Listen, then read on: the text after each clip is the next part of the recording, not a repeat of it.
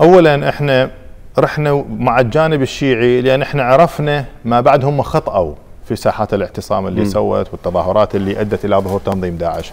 إحنا صرنا قريبين من الشيعة لأن هم شركائنا داخل البلد، نعم إحنا قريبين من الشيعة وهذا مو عيب لأن هو شريكي وهو جزء من العراق الشيعي. إحنا صرنا قريبين من الشيعة لأن نعتقد إحنا علاقاتنا الوطيدة والتاريخية مع الشيعة هي من راح تنفذنا إلى بر الأمان.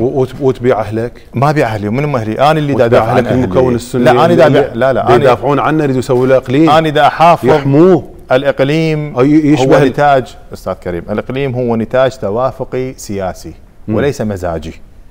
حتى في زمن آه، إقليم الشمال هم صار توافق دولي على إعطاء بال 91 الإخوان الحكم الذاتي. اليوم من نتكلم عن إقليم سني أنا أعتقد يعني ليس من المصلحة اليوم فتح هذا الباب. في حجة حماية السنة هو كانت عندنا أوراق كثيرة في عملية الدفاع عن السنة. كانت عندنا أوراق وعندنا علاقات كثيرة مع الإخوان الشيعة في عملية الدفاع عن عن السنة.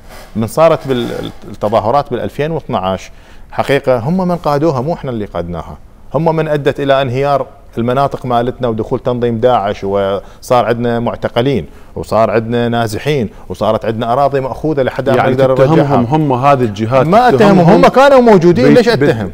إي لا لا لا أكو فرق بين مو هي كلها كانت موجودة هي صارت قيادات شيعيه موجودة وقيادات كردية بس ما حد اتهمها بأن هي من أدخلت داعش لا لا مو داعش أنا أقول المظاهرات اللي سووها إيه؟ والاعتصامات اللي سووها أظهرت نتائج تنظيم داعش, داعش. إيه طبعا إيه؟